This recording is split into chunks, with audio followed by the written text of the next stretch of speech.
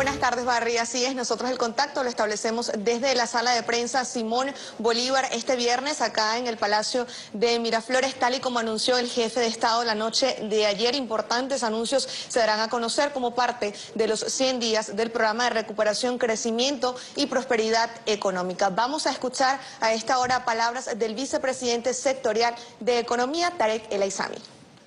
Bueno, muy buenas tardes. Saludamos a esta hora a toda Venezuela desde el Palacio de Miraflores, Palacio del Pueblo. Me acompañan los queridos compañeros ministros Wilmar Castro Soteldo y William Contreras.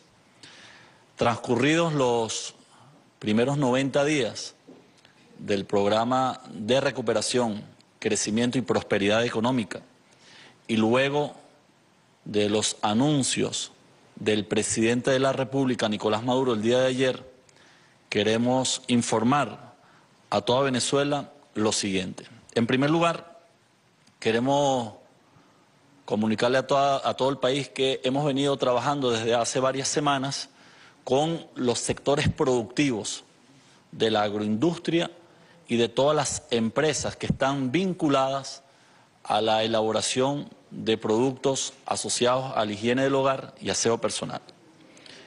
Suman más de 52 empresas que están dentro de la política de precios acordados que hemos establecido en el marco del programa de recuperación, crecimiento y prosperidad económica. Estas mesas de trabajo arrojaron un resultado satisfactorio. Hemos logrado acordar los precios en 29 rubros y productos fundamentales para la familia venezolana. ¿Cuáles fueron los mecanismos empleados para determinar la política de precios acordados con estos sectores productivos? En primer lugar, la estructura de costos, obviamente, y toda la incidencia y las variables que tiene una estructura de costos sobre los productos y sobre los rubros que hemos identificado como fundamentales. En segundo lugar, cuáles son los elementos que inciden directamente para el cálculo de la estructura de costo. Materia prima, salario, transporte, etcétera. En este sentido, ustedes saben que el presidente Nicolás Maduro ha asumido desde el pasado 20 de agosto, cuando iniciamos el programa de recuperación económica, hemos asumido la carga mayor para que los productos no tengan ningún tipo de incidencia directa. Y cuando digo carga mayor, nos referimos al hecho de el pago de la nómina de trabajadores de todas las empresas involucradas en esta política de precios acordados, la entrega de materias primas, además la facilitación de entrega de insumos para la, la elaboración de los distintos productos. Aunado a ello, también ustedes deben saber que le hemos otorgado divisas a estos sectores productivos y créditos del sistema bancario nacional. Es decir, que la mayor de las cargas que inciden en la estructura de costo la ha asumido el gobierno bolivariano. Sin embargo, evidentemente, tenemos que estar evaluando eh, periódicamente cómo se mueve esta estructura de costos para que los productos tengan un precio acordado, un precio solidario y sean de acceso a todo nuestro pueblo. En este sentido, el día lunes estará a partir del día de hoy y el día lunes se publicará en Gaceta Oficial los costos de estos productos acordados y además hemos establecido con estos sectores productivos la revisión periódica en caso de que amerite ajustar, acordar nuevamente algún rubro o algún producto en específico. Nosotros con, con ello pretendemos en primer lugar que el pueblo se empodere de esta información para evitar la especulación, la reventa, llámese bachaquerismo, o cualquier tipo de actividad irregular que niegue el acceso del pueblo a estos productos y a estos rubros. Es, fundamental hacerle un llamado de, de reflexión, un llamado al cumplimiento de la política de precios acordados, que es una ley de la República, a todos los sectores, tanto el sector productivo como las cadenas de comercialización. Es clave el respeto a esta política, porque hemos hecho una mesa de trabajo durante varios días, durante varias semanas, con todos los sectores. Hay un diálogo permanente con cada uno de ellos, con cada una de ellas. Y hemos trabajado inclusive para desatar, resolver, superar cualquier obstáculo o cualquier situación que perturbe la capacidad productiva de estos sectores. En consecuencia, pedimos respeto y el pueblo a empoderarse de la Gaceta y a denunciar. La cadena de comercialización o la agroindustria que se determine que viole esta política de precios acordados en esta fase del programa de recuperación va a tener severas sanciones de acuerdo a la Constitución y a las leyes de la República. Por lo tanto, es fundamental decirles que ya el día lunes todos los precios estarán evidentemente adecuados al nuevo formato de la estructura conforme a los anuncios que hiciese el presidente de la República el día de ayer. Ahora bien, como segundo tema, quiero informarle a toda Venezuela, ustedes saben que durante los primeros 90 días hicimos grandes esfuerzos de diálogo, de conversación, de solución de los problemas puntuales, concretos que los sectores que participaban en la política de precios acordados expresaban. Inclusive tuvimos reuniones sectoriales entre las que destaca la reunión con los dueños y operadores de mataderos del país. Uno de los temas que se complicó, se perturbó por parte de estos sectores es el sector cárnico. Lo advertimos. Ustedes recuerdan que desde esta misma sala hicimos un llamado a todos los productores, a todos los operadores de mataderos, para corregir las distorsiones y perturbaciones que habíamos detectado en su momento.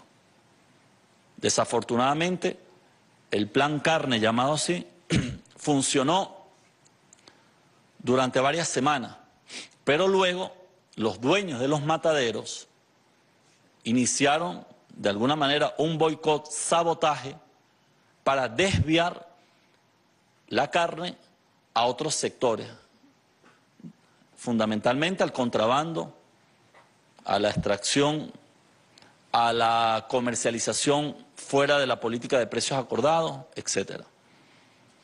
El día de hoy hemos iniciado la ocupación temporal de 21 mataderos, públicos y privados.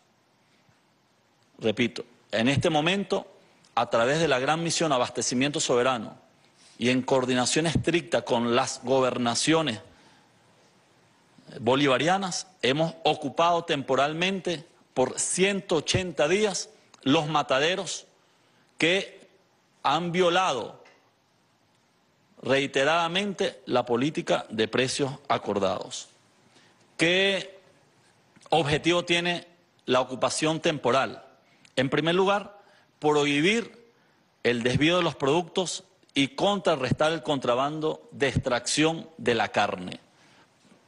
Para garantizar que la carne llegue a las cadenas de comercialización, a los CLAP, fundamentalmente.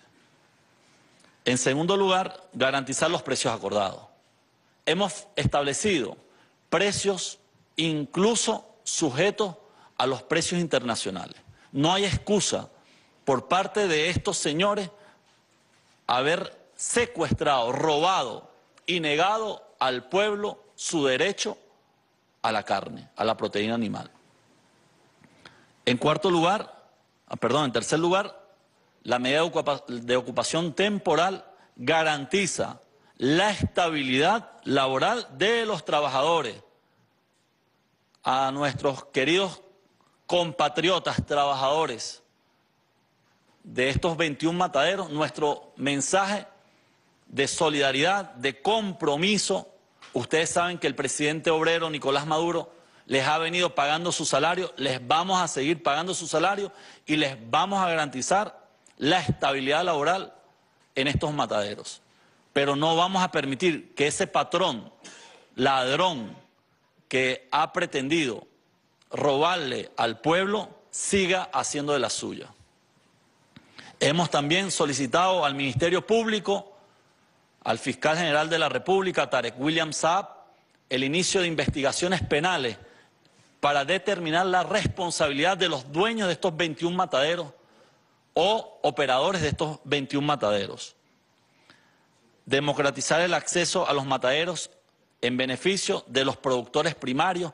Hay productores que nos denunciaron que para ellos arrimar su ganado y ser beneficiados de estos mataderos, les cobraban incluso en dólares. Muy grave. Los extorsionaban. Y luego, evidentemente, el productor primario estaba obligado a someterse a la suerte de, la, de estas organizaciones o de este tipo de chantaje y extorsión que se implementaban en los mataderos. Como quinto lugar, respetar la comercialización y uso de los subproductos. Ustedes saben que los dueños de los mataderos lo que más les interesa es los subproductos que se generan luego del sacrificio del animal. Lo que llaman los trastes, vísceras, bueno, el cuero, los cachos, el colágeno, etcétera, hay subproductos que son comercializados en los mercados internacionales. Nosotros hemos decidido que esas operaciones de esos mataderos continúen. No vamos a afectar, no vamos a afectar ese tipo de comercialización porque generan de alguna manera riquezas a la patria. Lo que vamos a garantizar que la carne no se convierta también en un producto a ser comercializado como les daba la gana de estos señores y que llegue a la familia venezolana. Restituir las condiciones de prestadores de servicio y no de revendedores de los productos, es decir, los mataderos utilizaban intermediarios para incrementar la estructura de costos, ¿verdad? y favorecían algunas mafias económicas que terminaban cartelizando el precio de la carne. El reordenamiento del proceso de la distribución local, los mataderos deben garantizar la distribución local. Ya hemos iniciado un plan de distribución a través del Ministerio del Poder Popular para la Alimentación, de tal manera que toda la carne sacrificada en Venezuela llegue de manera oportuna a, a todos los hogares del país. Prohibir la comercialización con particulares que no posean registro SICA, evitando con ello la comercialización de las guías de movilización. Es decir, también golpear las mafias y la corrupción de algunas instancias que utilizan las guías para tratar de desviar el animal o el ganado a otros sectores. La medida se encuentra fundamentada en los procesos, evidentemente, logísticos, operativos. En consecuencia, los procesos administrativos adecuados a la ley continúan bajo el control de los operadores o propietarios de los mataderos, garantizando la estabilidad de los trabajadores y la continuidad administrativa. Nosotros vamos a estar vigilantes respecto a esta medida de ocupación temporal de 21 mataderos. El sector cárnico ha sido uno de los sectores donde más se ha perturbado. Insisto mucho, antes de haber tomado esta decisión, hubo no menos de cinco reuniones directas, conversamos personalmente con cada dueño, con cada operador de estos mataderos para tratar de que se rectificara en su conducta y en su modalidad criminal, porque son servicios sociales, servicios públicos, porque la actividad comercial que ellos hacen tiene un propósito social, va para el pueblo. En consecuencia, no nos íbamos a quedar de brazos cruzados ante este tipo de situación y a partir del día de hoy se ocupa temporalmente por 180 días prorrogables a estos mataderos del país, para que en diciembre el pueblo venezolano tenga su carne. Ustedes saben que nuestro gobierno siempre colocará por delante el interés y la causa popular, el pueblo, el hombre, la mujer, la familia venezolana. El programa de recuperación, crecimiento y prosperidad tiene su eje central en el, en el desarrollo del ser humano, no en la generación de capital o dinero o seguir empoderando grupos económicos. Ustedes saben que nuestra revolución socialista tiene como epicentro al venezolano, a la venezolana. Y esta medida es una medida justa, necesaria y oportuna. Y iremos evaluando. Y cualquier otro sector, fíjense, yo puedo colocar varios ejemplos durante estos 90 días. Y permíteme para que el país valore el gran esfuerzo que hemos hecho y que ha hecho el gobierno del presidente Maduro. Hubo cadenas de comercialización al inicio del programa de recuperación económica que no, no cumplían con el abastecimiento de productos y fueron llamados.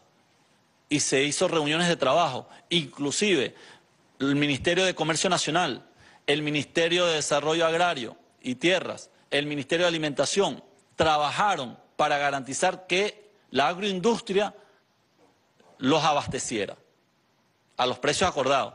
Y los dueños dieron la cara.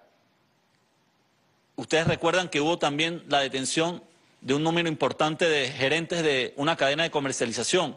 Luego se acordó con ellos, se rectificaron y garantizaron la presencia de los productos en los anaqueles de esa cadena.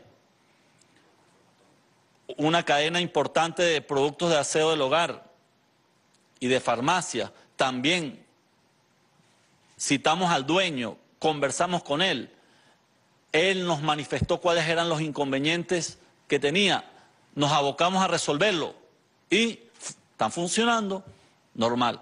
No ha sido posible así con el sector cárnico.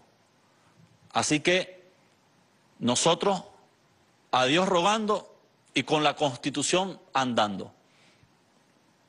Todo dentro de la Constitución, nada fuera de ella y nada en contra del pueblo. Ustedes saben que para nosotros el pueblo es sagrado. Estos señores utilizaban su actividad comercial perjudicando al pueblo, a la mayoría del pueblo. Finalmente, queremos informar que el día lunes 3 de diciembre, el Banco Central de Venezuela emitirá una resolución donde a partir desde ese día y hasta el día miércoles 5 de diciembre a las 18 horas o 6 de la tarde, queda vigente el antiguo cono monetario llamado Bolívar Fuerte. Es decir, que hasta el día miércoles tiene curso legal eh, como, como moneda de circulación nacional el cono anterior. Y luego del miércoles de 6 de la tarde se desmonetizará y se retirará todas las denominaciones del Bolívar fuerte. Todas las personas que aún tienen en sus manos el cono anterior podrán dirigirse entre el día lunes 3 y el miércoles 5 de diciembre al sistema bancario nacional público o privado y a las oficinas del Banco Central de Venezuela y depositar esos billetes.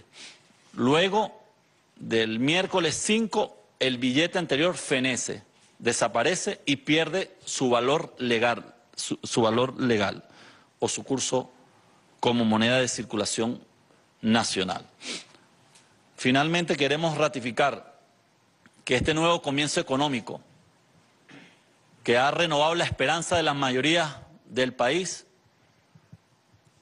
ha concluido su primera etapa, los 90 días iniciales. Hemos iniciado un segundo periodo que apunta a ser un periodo de prosperidad, de estabilidad, de tranquilidad para la familia venezolana. Ayer el presidente de la República anunció un conjunto de actividades, el incremento salarial, la modificación de la unidad de cuenta del petro a 9 mil bolívares, el medio petro como salario quedaría en 4.500 bolívares soberanos. Y el pago de un bono navideño y un bono de Niño Jesús a 8 millones de venezolanos y venezolanas y a 8 millones más el bono de Niño Jesús.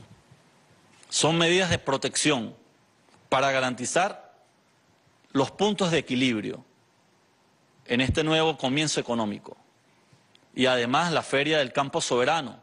Ya tenemos en nuestras manos, queridos compatriotas, más de 20 mil toneladas de pernil adquiridas con tiempo. El presidente también ayer decía una buena noticia. Antes estas 20 mil toneladas todas eran importadas. Hoy, o este año, hemos logrado que la mitad, el 50%, sea de producción nacional. Es un signo positivo de recuperación económica. Y vamos a ir avanzando cada vez más para que el país produzca los alimentos que consume y sustituir la importación y volver a los momentos donde el país más bien exportaba diversos productos.